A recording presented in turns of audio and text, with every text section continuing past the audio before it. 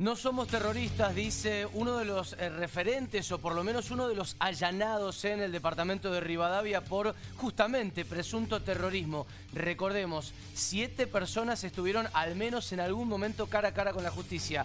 Dos siguen presas. Dos imputados aquí en la provincia de Mendoza. Dos imputados, pero cinco a los que los liberaron. Claro, Sí. además de liberarlos, sí les retuvieron tablets, celulares, computadoras, todo esto que se veía, esos libros que tendrían que ver con una rama del Islam.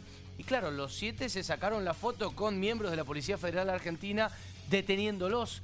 Ahora, hay que decir que hay ciertos matices o ciertos bemoles en esta historia que en principio aparece como totalmente impactante. Por supuesto, lo fue el viernes, ¿no? De hecho, lo fue el viernes, lo estuvimos hablando. Claro. Y tenía que ver con esto también cómo se encontraba toda la gente en Rivadavia con este susto y con esto de esta posible celular terrorista aquí en la provincia de Mendoza. Imagínate lo que esto generó y lo que significó que fuimos tapa en todos los diarios a nivel nacional justamente con, Sí. este, a- con estos allanamientos y con esta conclusión, ¿no? Y también y los algo. imputados aquí. Y te sumo algo, porque dijiste tapa a nivel nacional. Al menos dos eh, medios internacionales se hicieron eco También de se hicieron eco, los razón. operativos en Mendoza. Sí. Y hay gran parte, o por lo menos buena parte de la colectividad judía en Israel Sí. que estaba hablando de estos operativos. Después habrá que ver en qué terminan, cómo concluye esta historia.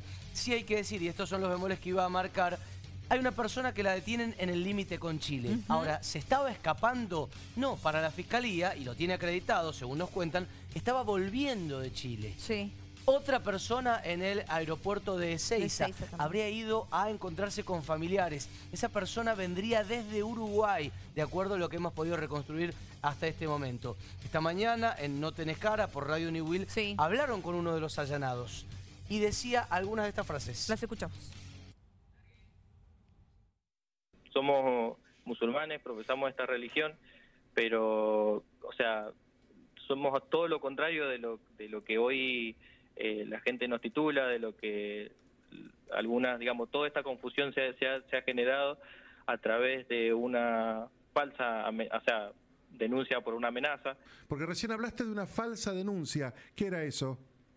Sí, fue esto mismo que, que vos mencionás, que Sí. eh, fue la- una supuesta amenaza a un periodista eh, de acá de, de- de Mendoza. Sí, no hagas nombres, Eh, por favor. Sí, sí, sí, donde no, no, o sea, no, no ha sido así. ¿Y en ese grupo compartían posteos que pueden ser considerados antisemitas?